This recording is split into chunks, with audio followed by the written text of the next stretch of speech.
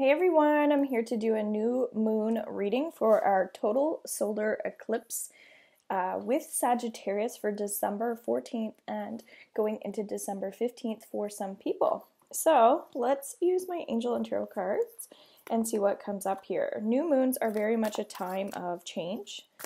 The energy is very much shifting right now. So whenever we have a solar eclipse, it's kind of our, our sun and our earth meeting each other at the exact same time. And so it means we're going to feel it that much more.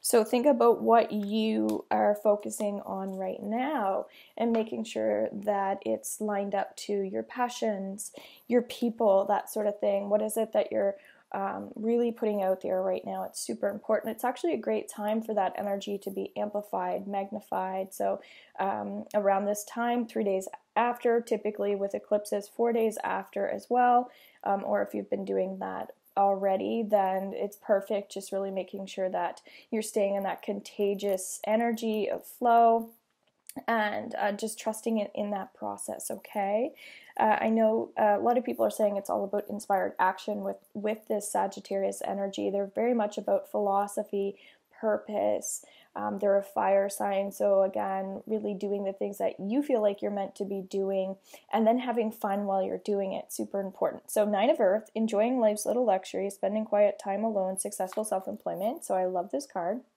And again, you might not be able to see perfectly. I do have a light here. Maybe I should bring it in a bit more.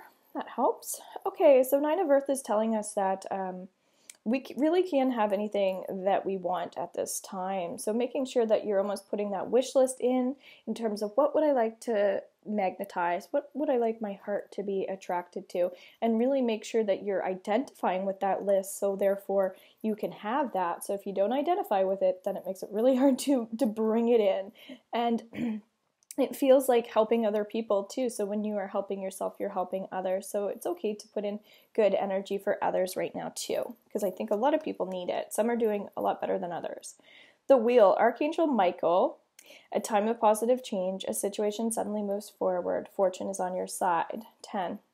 So this is saying that we have a lot of impulses, we have a lot of like instincts, intuitive action more so coming up. And it's about you being yourself and identifying with who that person is. So often during new moons, we might actually take some time to reflect on what we're looking to to receive as well because what we're putting out is what we're going to get back so again the um, feeling really clear, becoming a clear channel, great time for getting um, healings. I'm doing 50% off until January 1st. Keep in mind, I am taking time off as well.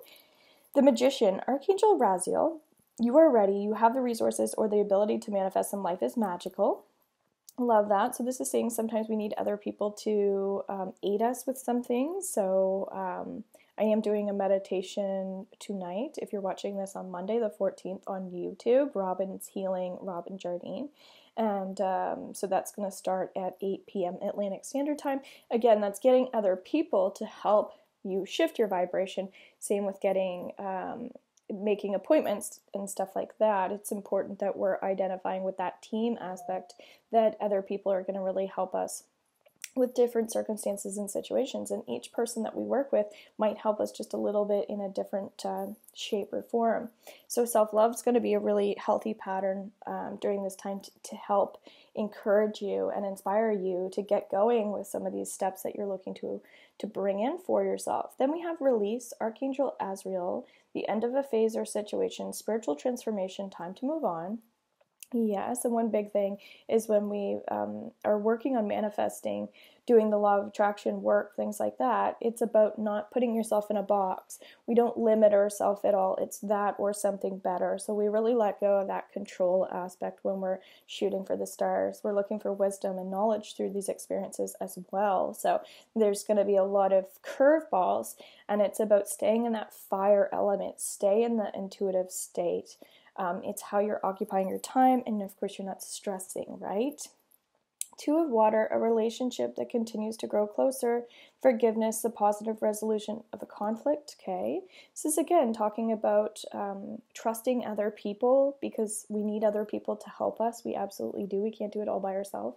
This is a, the really the new shift that's coming in on the 21st. People are really making a big deal out of this. There's a lot of stuff happening that hasn't happened in years. And I'm talking years, years. So this is about um, you know, if you've been burned in the past, if you have a lot of negative energy that's happened to you, that's so important that you're putting that to the wayside and having more faith. And um, it does feel relationship related. So it's really work on different aspects of yourself so that you can move forward. So again, the doing more of that peace work is going to be helpful. Nine of fire don't give up, protect that which you've created, have courage, and believe in yourself. Yes, this is about people who might have a bit of a scarcity mindset.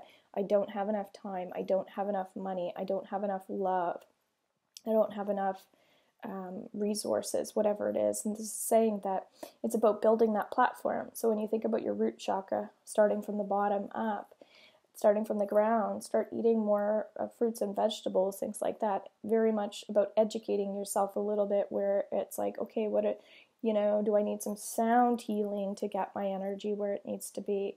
Um, you know, is it about baking, reminding me of like the memories from from my parents or my in-laws or whoever it is that that you feel like you want to, you know, remember like other people's style of how they would do things. You're just bringing back some of the old energy back in that makes you happy, joyful, and gets you in the right mindset, okay? Especially with Christmas coming up. Seven of fire, defend your beliefs and decisions, stand your ground, choose your battles wisely.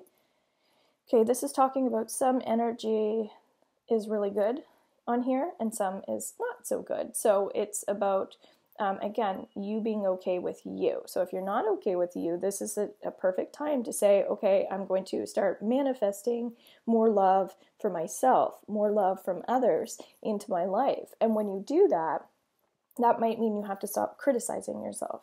You might have to stop bragging about yourself. Whatever it is, it's about um, shifting according to um, your own goals, your own path, your life path. And this life path is super important for a lot of people right now because that's the, kind of the whole point of the new, of the new moon is to get on that path.